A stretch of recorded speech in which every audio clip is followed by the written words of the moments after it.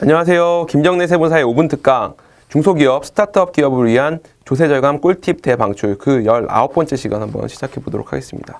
자, 우리가 지금까지 18개의 그 세법 조항을 살펴보면서 그 세제 조세 지원 또는 세액 감면, 조세 감면 제도를 한번 살펴봤는데요.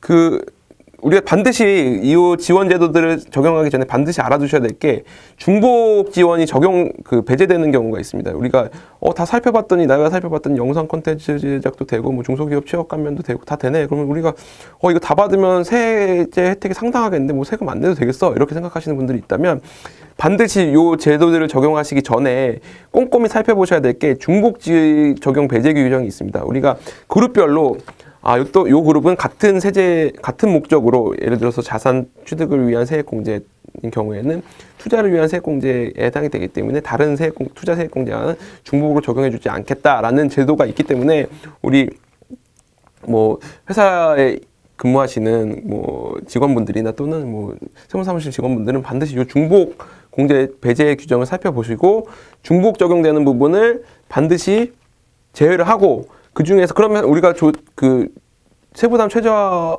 그러니까 세부담을 최소화시키기 위해서는 어떤 방식을 써야 될까요?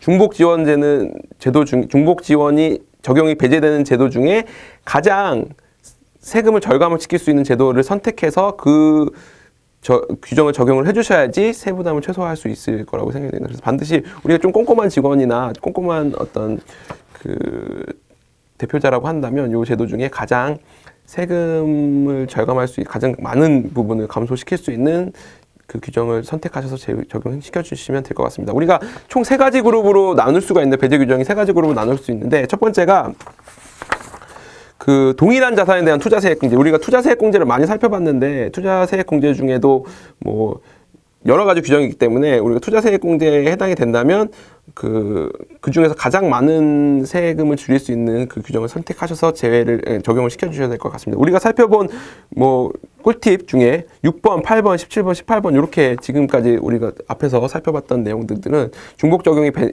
배제가 되기 때문에 반드시 그 중에서 하나만 선택해서 적용을 시켜주시기 바라고요.